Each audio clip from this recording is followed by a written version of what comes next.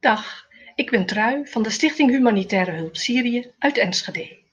Een stichting die in Noord-Syrië werkt om de slachtoffers van de oorlog in Syrië bij te staan. De nu al meer dan tien jaar durende oorlog heeft de mensen daar erg arm gemaakt. De economie is ingestort, het geld is niets meer waard en het eten is erg duur. Daarom helpen we in Syrië met het uitdelen van brood en voedselpakketten en helpen de kinderen naar school te gaan zodat ze een vak kunnen leren.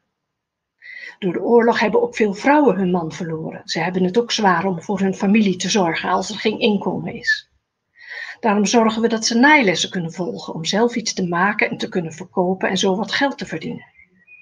En als ze niet kunnen lezen en schrijven, helpen we hen ook daarbij. Zo hopen we met respect voor de mensen en oog voor hun waardigheid de Syriërs hoop te geven op een betere toekomst, zodat ze ooit weer mogen lachen. Helpt u mee?